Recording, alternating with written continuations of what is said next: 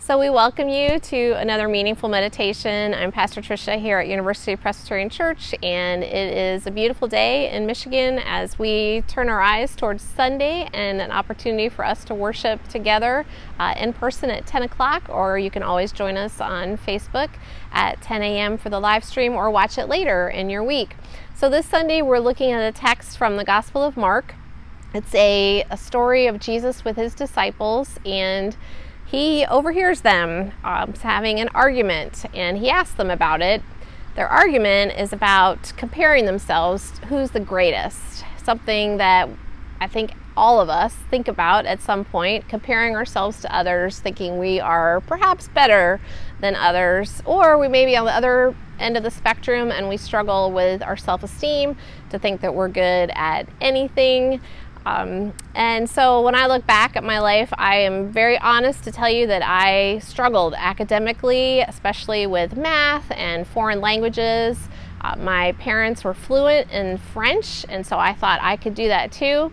Came home with a big C on my report card and was pretty fearful of what uh, my parents would think. And my dad said to me, You know, a C is an average grade, and there's nothing wrong with being average, that all of us have different places in our life where we are going to do better than others. And the important part, I really think that Jesus is driving home um, in this story, in this text, is how are we with our love? Are we generous with our love or do we kind of keep it for ourselves? Do we rate ourselves thinking that um, we have to be perfect in every way and then we don't even love ourselves?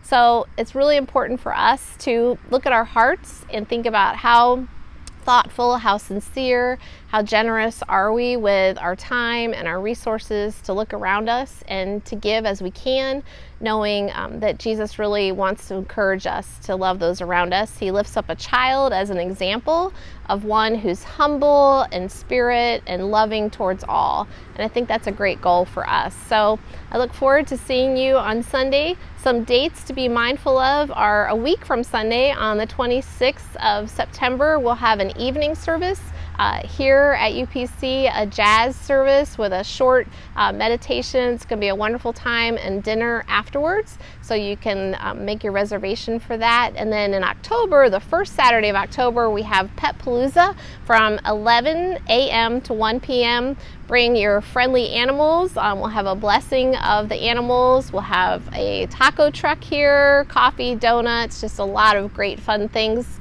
Um, so make sure you have that on your calendar for October. So blessings for your journey and thanks so much for tuning in.